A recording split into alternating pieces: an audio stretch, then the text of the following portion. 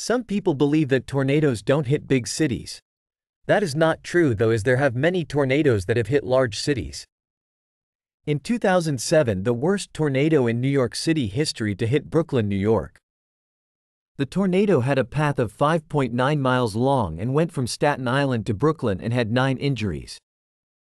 It was part of a small tornado outbreak including one other tornado that hit Stapleton, New York. On March 1, 1983 a tornado began near Ladera Heights, California. The tornado then went through Village Green in south-central Los Angeles. Then dissipated near Mid-City Los Angeles causing $30 million in damages and having 30 injuries. This tornado was part of another small tornado outbreak that caused another F0 that briefly touched down near Los Angeles but this outbreak was mostly supposed to be rain and some severe weather but it ended up causing supercells and two tornadoes and one significant tornado. Going back one year and moving south of Los Angeles, a tornado outbreak had seven tornadoes in California, but the most powerful tornado began north of Long Beach, California. It crossed through Signal Hill, then right through the Long Beach airport. The tornado then passed through Lakewood, then dissipated near Artesia. It had zero injuries and zero fatalities as there was one more F2 that quickly touched down then dissipated but not before doing F2 damage near Van Nuys and in the outbreak there was also an F1 waterspout that hit Malibu.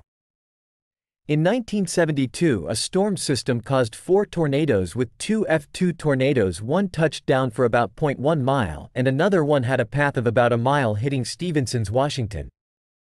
But the tornado I will talk about is one of the F3 tornadoes that hit Portland, Oregon. It began north of the Portland International Airport and moved northeast.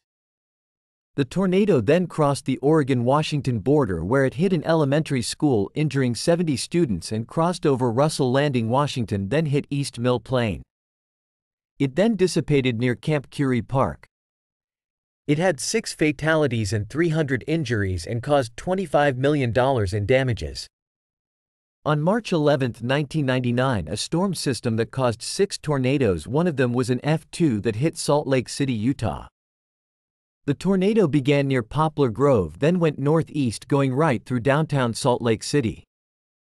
It then dissipated near Greater Avenues. When the tornado hit the downtown area of Salt Lake City, a fireball was seen because of a power substation exploding when the tornado hit it. The tornado also had the second fatality from a Utah tornado and also had 80 injuries. The tornado also hit Delta Stadium where the Utah Jazz basketball team played at the time. In 1972, the capital of the state of Arizona called Phoenix got hit by an F2.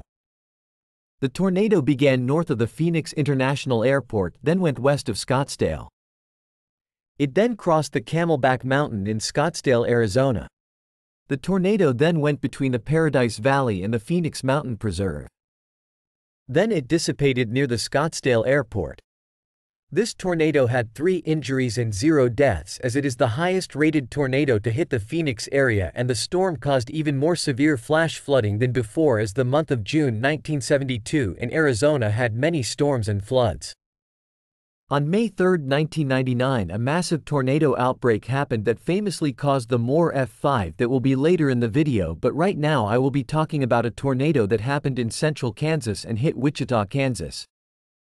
It was the late evening hours of May 3, already after the Moore F5 when a tornado dropped north of Wellington, Kansas and began moving north towards Wichita. The tornado then destroyed Haysville, Kansas. It went through South Wichita before dying off near the McConnell Air Force Base. It had six fatalities and 150 injuries. On the same day a tornado began south of Amber, Oklahoma. The tornado then grew to an F4 very fast now northeast of Amber. It continued to intensify until it grew to an F5 when it hit Bridge Creek and when it hit the city 12 people and 9 of the deaths in Bridge Creek were people in mobile homes. The tornado then weakened to AF2 then formed a satellite tornado near La Luna, Oklahoma. It re-strengthened to an F5 when it hit the city of Moore, Oklahoma as a multiple vortex tornado. It then weakened to an F4 when it hit Del City and then dissipated.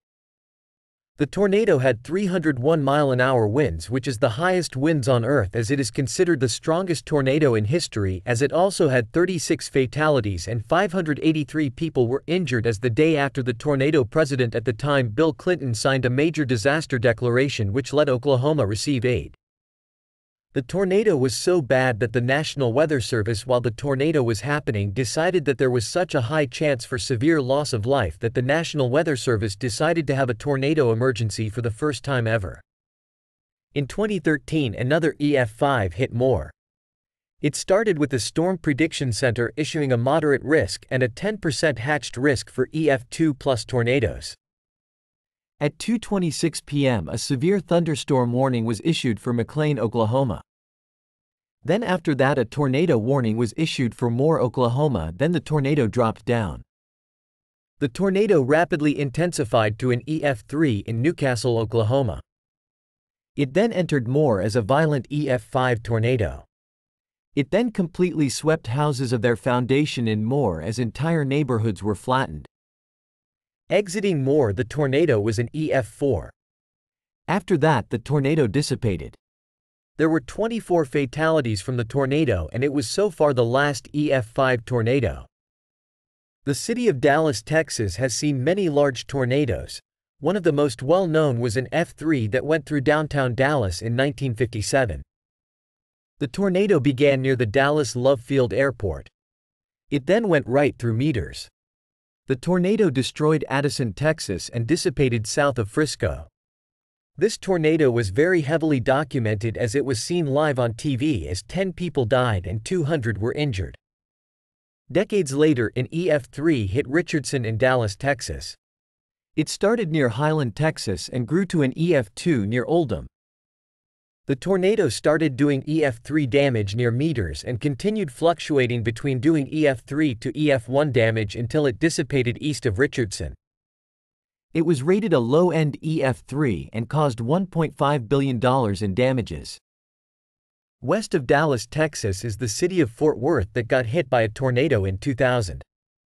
It started west of downtown Fort Worth and moved straight into the city. It damaged many skyscrapers in the downtown area then dissipated. It had two fatalities and 80 injuries and was rated F3. In 1953 an F5 hit Waco, Texas. Many skyscrapers collapsed even before the tornado hit because of the wind and rain. Once the tornado hit downtown the RT Dennis building completely collapsed and killed 30 people that were inside the building. After destroying Waco it went right through Belmead and dissipated near the Waco airport. After the tornado, five feet of rubble covered some parts of Waco as 600 people were injured and 114 people were killed. In 1977, an F5 began near Sherman Heights, Alabama. The tornado scraped the northern side of Birmingham, Alabama at F5 strength as it completely destroyed houses as one house was reported to have been completely swept away including its foundation. It then went through northern Tarrant, Alabama before dissipating right before it hit Huffman, Alabama. Ted Fujita nearly rated the Tornado F6 similarly to the 1970 Lubbock F5 and the Xenia F5 as 22 people died. On April 8, 1998 another F5 had almost the exact same path. The tornado began north of Kellerman doing F0 damage. It rapidly intensified doing F3 damage in Ezra, Alabama. As the tornado continued to intensify and began doing F5 damage in Hopkins and Rock Creek as houses were swept away and cars in a church parking lot were thrown into a ravine. The violent F5 damage continued as it entered Sylvan Springs, Alabama. The tornado then went through McDonald Chapel until it dissipated near a northwestern suburb of Birmingham called Pratt City. 32 people were killed from the tornado and 259 people were injured. The 2011 super outbreak had multiple terrible tornadoes but the most famous one was the infamous Tuscaloosa Birmingham EF4. The tornado began south of Mantua, Alabama doing EF0 damage. It rapidly intensified to an EF2. Before entering Tuscaloosa at EF4 a tornado emergency was issued by the National Weather Service. The violent tornado entered Tuscaloosa doing high-end EF4 damage. It then destroyed an apartment complex in Alberta City. The tornado then began to move towards Birmingham. It then hit the north side of the city before dissipating. The tornado had 64 deaths and 1,500 fatalities and caused $2.4 billion in damages. In 2008 an EF2 began near downtown Atlanta, Georgia. At this time a basketball game was taking place in the Georgia Dome in downtown Atlanta. With moments left in the game Mykal Riley tied the game to send it into overtime keeping thousands of people leaving the stadium while the tornado hit. Eventually the tornado hit the stadium as debris was seen falling from the ceiling of the arena.